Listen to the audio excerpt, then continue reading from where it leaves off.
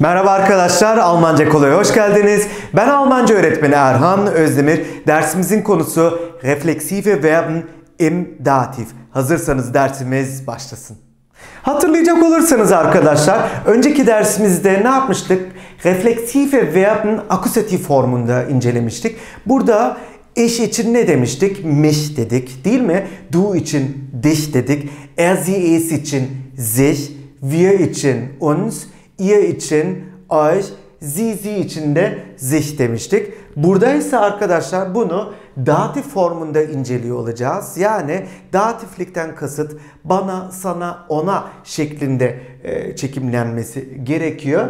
Dolayısıyla eş için mir, du için dir, er, sie, es, sich, wir, uns, ihr, euch, saygı formunda ya da nezaket formundaki sie, sich ve üçüncü çoğul sie, sich olarak çekimlenmiş oluyor.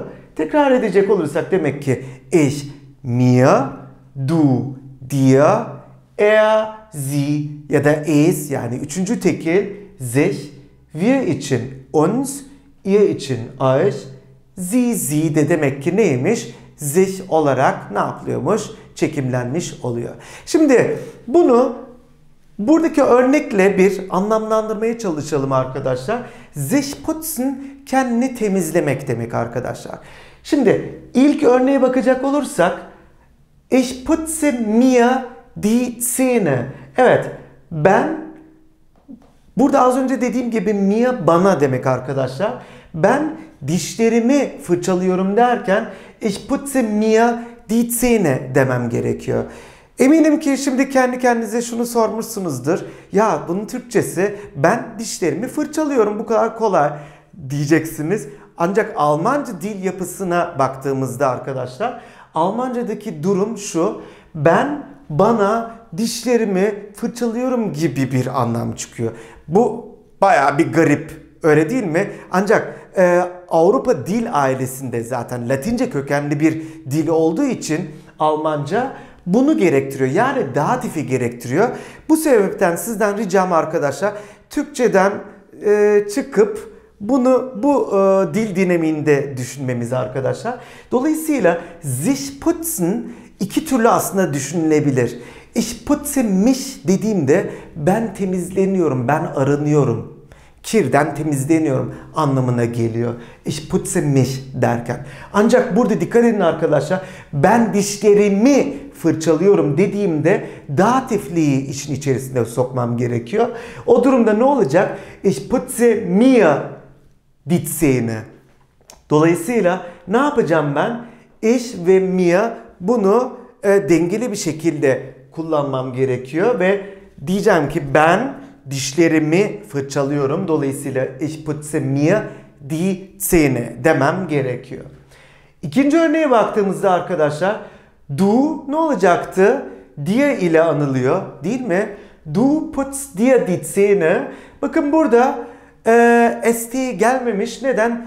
Gereksiz olur diye oradaki s düşmüş. Aslında teknik olarak bakıldığında orada bir s var. Ancak z'ten sonra s'e gereksinim olmadığı için oradaki s zaman içerisinde düşmüş ve du putzt dir die Zähne demiş oluyoruz. Ee, bu şimdi şu şu şekilde olmuş olsaydı du putzt mir die Zähne sen benim dişlerimi fırçalıyorsun gibi bir anlam çıkmış olurdu. Olabilir mi? Olamaz mı? Orası tabii tartışılır ama ne demek istediğimi anlıyorsunuz değil mi arkadaşlar? Yani buradaki mutlaka e, dengeli bir şekilde gitmesi gerekiyor. Evet. E, bir erkekten bahsedecek olursak o kendi dişlerini fırçalıyor derken ne yapacakmışız demek ki? Sich. Ne diyeceğim o zaman? Er putzt sich die Zähne. O kendi dişlerini fırçalıyor demiş oluyoruz. Değil mi? Er putzt, er putzt sich die Zähne. O dişlerini fırçalıyor. Wir putzen euch die Zähne. Evet wir neyi gerektiriyor arkadaşlar? Uns'u. Dolayısıyla wir putzen uns die Zähne. Biz dişlerimizi fırçalıyoruz demiş oluyoruz değil mi? Ihr putzt euch die Zähne. Ihr için ne demiştik arkadaşlar? Euch gerektiriyor değil mi? Dolayısıyla ihr putzt euch die Zähne. Sizler dişlerinizi fırçalıyorsunuz anlamına gelmiş oluyor. Ve sonuncusu Sie putzen sich die Zähne. Onlar dişlerini fırçalıyorlar ya da saygı formunda da olabilirdi değil mi bu? Sie putzen sich die Zähne. Siz dişinizi fırçalıyorsunuz anlamına da gelebilir. Tabi bunu e, saygı formu mu ya da onlar formun olduğunu nereden anlıyoruz? Bir önceki cümleden ya da neyi kastettiğimle alakalı tabi işin içerisine vücut dili de giriyor değil mi? E, kimi kastediyorsam buradan e, bu çıkmış oluyor. Dilerseniz bu görmüş olduklarımızı doğru telaffuzuyla tekrarlayalım. Ich putze mir die Zähne. Ich putze mir die Zähne. Du putzt dir die Zähne. Du putzt dir die Zähne. Er putzt sich die Zähne. Er putzt sich die Zähne. Wir putzen uns die Zähne. Wir putzen uns die Zähne. Ihr putzt euch die Zähne. Ihr putzt euch die Zähne. Sie putzen sich die Zähne. Sie putzen sich die Zähne. İlk cümlemizle başlayalım arkadaşlar. Sich etwas ausziehen, die Socken wir. Aslında tam olarak cümlede değil değil mi? Cümlenin öğeleri desek daha doğru olur. Ausziehen neydi arkadaşlar? Soyunmak ya da kıyafet çıkartmak anlamına geliyor. Etwas bir şey demek.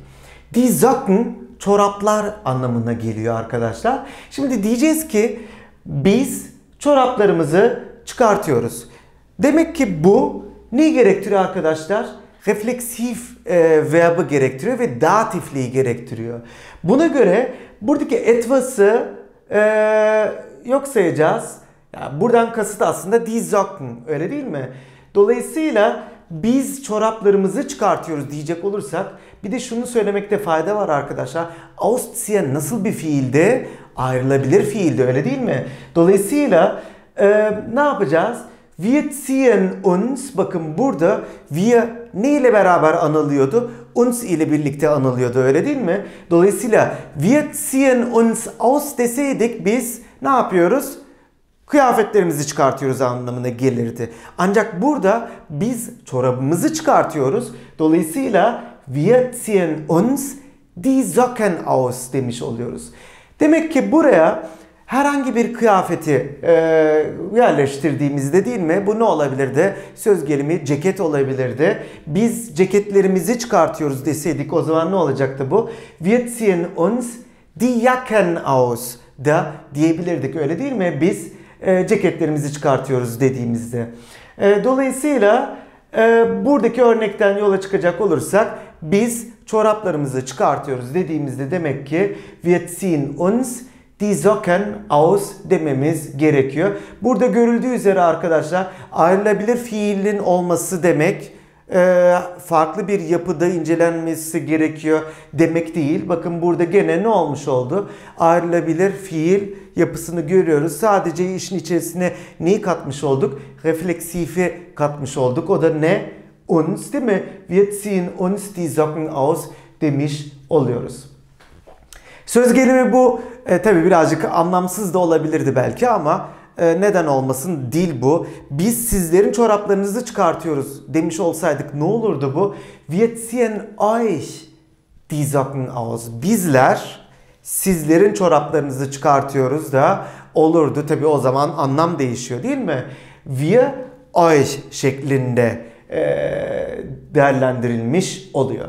Sonraki örneğe bakalım arkadaşlar sich etwas putzen. Az önce de görmüştük putzen neydi? Fırçalamak, temizlemek anlamında. Die Zähne, dişler, jeden Morgen und Abend, her sabah ve her akşam anlamına gelen jeden Morgen und Abend.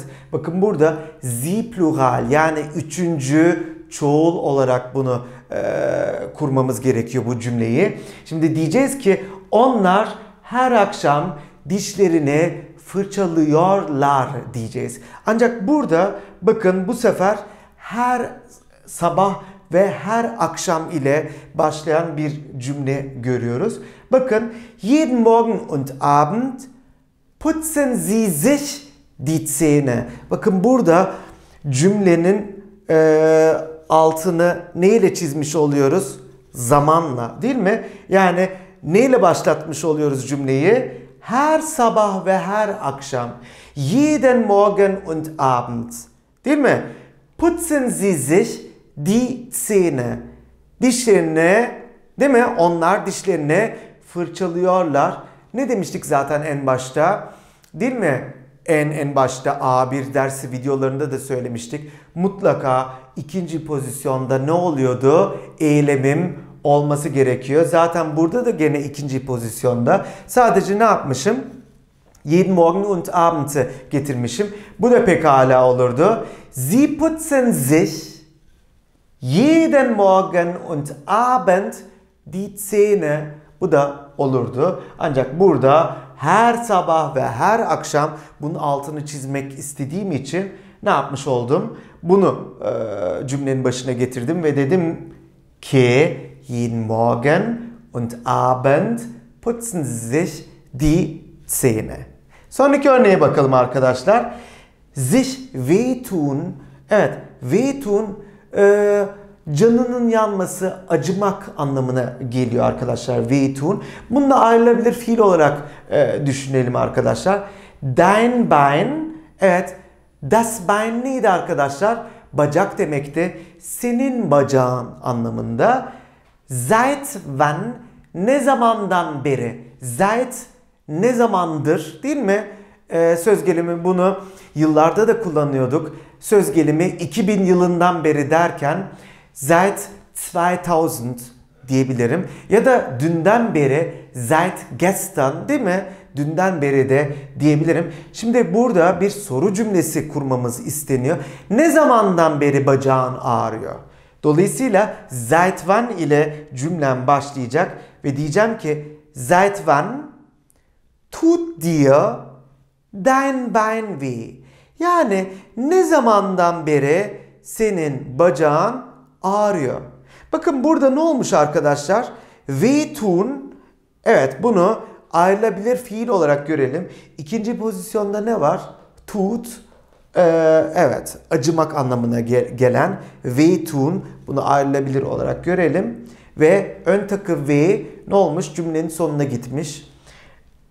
Ve ne zamandan beri dediğimde ne yapıyorum? Demek ki seit wann ile cümleyi başlıyorum, başlatıyorum. Çünkü bu bir soru cümlesi.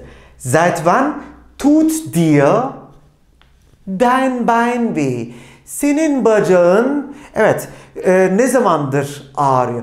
Bunu Türkçe birebir çevirecek olursak senin bacağın sana ne zamandır ağrıyor gibi e, çok böyle havada çok abuk bir anlam biliyorum. Ancak bunu Almanca'da düşünmek gerekiyor. Bu dinamikte düşünmek gerekiyor. Demek ki burada ne olacak arkadaşlar? Du, dia ile anıldığından dolayı dia buraya geliyor. Senin bacağın dediğimde dein Bein demem gerekiyor. Ve diyeceğim ki ne zamandır bacağın ağrıyor? Seit wann tut dir dein Be düzeltiyorum. Seit wann tut dir dein Bein weh? demiş oluyorum. Tabi insan böyle zaman zaman Türkçe ve Almanca arasında kaldığında böyle kala kalabiliyor. O yüzden e, afanıza e, sığınaraktan. E, dilerseniz şimdi bu görmüş olduklarımızı doğru telaffuzuyla tekrarlayalım. Wir ziehen uns die Socken aus. Wir ziehen uns die Socken aus. Jeden Morgen und Abend putzen sie sich die Zähne. Jeden Morgen und Abend putzen sie sich die Zähne. Seit wann tut dir dein Bein weh? Seit tut dir dein Bein weh? Sıradaki örneğimizle devam edelim. Sich ansehen ich einen Film heute Nachmittag. Evet, sich ansehen neydi arkadaşlar? İzlemek demekti öyle değil mi? Ayrılabilir fiil bu arada ansehen. Aynı zamanda düzensizlik de var değil mi? Sehen çünkü hatırlayacak olursanız ich sehe, du siehst, er sie, sieht değil mi? E, düzensizlik de vardı. Aynı zamanda neymiş? Ayrılabilirmiş ama aynı zamanda da neymiş? Refleksifmiş öyle değil mi? E, Birçok şey e, barındıran bir e, eylem. Aynen film e, zaten anlaşılacağı üzere bir filmi değil mi? Orada bir akuzatiflik var değil mi? E, heute Nachmittag bu öğleden sonra değil mi? E, Mittag neydi? Öğlen. Öğleden sonra Nachmittag. Dolayısıyla e, saat kaç gibi? Öğleden sonra herhalde işte kaç olabilir? 15 gibi, 16 gibi değil mi? Öğleden sonrayı kastetmiş oluyoruz böyle. Ee, dilerseniz bunu bir cümle haline getirelim arkadaşlar. Ne yapacağım? Ben e, bu öğleden sonra bir film izleyeceğim diyeceğim. Ne yapacağım? Ich sehe değil mi? Datiflik gerektiği için ich sehe mir heute Nachmittag bu öğleden sonra einen Film an. Bakın burada e, buradaki öğeleri yok sayalım. Ich sehe einen Film an. Bir film izliyorum değil mi? Ancak bu neyi gerektiriyormuş demek ki? Refleksifliği gerektiriyor. Dolayısıyla ich sehe mir heute Nachmittag einen Film an demem gerekiyor. Ee, burada mir olmadan arkadaşlar cümle boşlukta kalıyor. Bir anlamsızlık oluyor. Dolayısıyla buradaki o e, datifliği mutlaka, refleksifliği mutlaka vermemiz gerekiyor. Bu cümleyi ben şu şekilde de söyleyebilirdim. Heute Nachmittag sehe ich mir einen Film an. Bu da olurdu pekala. Ee, ancak burada ayrılabilir fiil ansehen bakın e, yerli yerinde kendi pozisyonunda kalması gerekiyor. Eylem çünkü değil mi? Sehe ve ön takı an ne olacak? Cümlenin sonuna git, gidecek değil mi? Bunda zaten herhangi bir e, sorun, sıkıntı yok. Demek ki bu öğleden sonra bir film izleyeceğim diyecek olursam ne diyecekmişim? Ich sehe mir heute Nachmittag einen Film an. Sonraki örneğe bakalım arkadaşlar. Sich die Haare bürsten, das Kind nach dem Duschen. Evet öncelikle bir anlamlandıralım. Die Haare neydi? Saçlar demek. Bürsten fırçalamak demek arkadaşlar. Die Bürste, bakın bunu büyük yazsaydım die Bürste yani ilk harfini büyük yazsaydım die Bürste fırça demek. Fırçalamak, güzel Türkçe'de de öyle diyoruz değil mi? Fırça ne oluyor? Fırçalamak şeklinde eyleme dönüşüyor. Burada da aynen öyle. Die Bürste fırça, fırçalamak, Bürsten. Das Kind bunu biliyoruz. Çocuk demek. Nach dem Duschen, duştan sonra. Demek ki bu cümlede e, bu yapıyı cümle haline e, getirdiğimizde şunu demeye çalışıyoruz. Çocuk duştan sonra saçlarını fırçalıyor. Bunu nasıl yaparız? Bakın burada bu sefer cümle das Kind ile başlamamış. Ne ile başlamış? Nach dem Duschen ile başlamış. Bakın burada nach dem Duschen ne oluyor ondan sonra? Eylemi e, işin içerisine katmam gerekiyor. Yani sich bürsten. Öyle değil mi? Sich die Haare bürsten. Bakın ne olmuş? Bürstet sich, çekimlemişiz. Bürstet sich das Kind die Haare. Fırçalıyor çocuk saçlarını demiş oluyorum. Demek ki duştan sonra çocuk saçlarını fırçalıyor derken nach dem Duschen bürstet sich das Kind die Haare. Neden sich? Çünkü das Kind neydi? Üçüncü tekil. E peki üçüncü tekilde ne olacak? Sich olacak. Öyle değil mi? Ondan dolayı sich e, formunu kullanıyoruz. Biz pekala şöyle de diyebilirdik. Das Kind bürstet sich die Haare nach dem Duschen. Bu da olabilirdi. Değil mi? Ancak burada duştan sonra dediğim için değil mi? Onu ön plana getirmişiz. Dolayısıyla nach dem Duschen bürstet sich das Kind die Haare. Ve son örneğimize bakalım arkadaşlar. Sich etwas anziehen, eure Schuhe ihr. Evet. Etwas an, az önce de söylemiştik. Etwas neydi? Bir şey. Anziehen bu bir ayrılabilir fiil arkadaşlar. Giyinmek demek arkadaşlar. Ayrılabilir anziehen giyinmek demekmiş. Eure Schuhe ayakkabılarınızı anlamına geliyor. Ihr bu da ne demek arkadaşlar? İkinci çoğul değil mi? Siz ayakkabılarınızı giyiyorsunuz diyeceğiz şimdi. Dolayısıyla ihr zieht euch eure Schuhe an. Bakın burada ne olmuş arkadaşlar? Ihr neyle anılıyordu? Euch ile anılıyor.